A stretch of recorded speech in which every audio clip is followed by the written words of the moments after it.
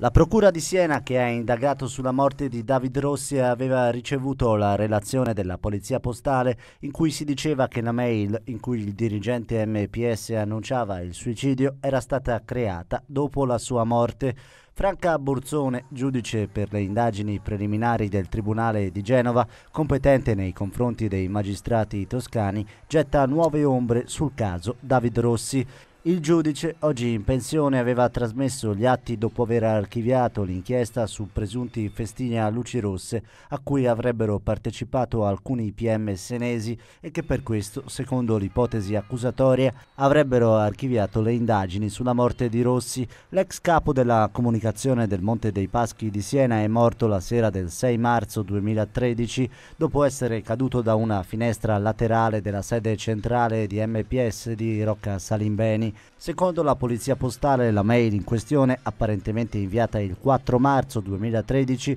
è stata invece creata il 7 marzo. Il messaggio è collocato all'interno di uno scambio di mail tra Rossi e l'ex AD del Monte dei Paschi, Fabrizio Viola, il quale davanti ai magistrati ha riconosciuto tutte le mail di quel giorno, ma non quella in cui Rossi avrebbe manifestato l'intenzione di suicidarsi, a riaccendere i riflettori sul caso il lavoro della commissione parlamentare d'inchiesta che per mercoledì, fa sapere il presidente della commissione Pierantonio Zanettin, ha convocato in via d'urgenza l'ufficio di presidenza per affidare ai corpi speciali dei carabinieri già incaricati della maxi perizia uno specifico ed articolato esame sul materiale informatico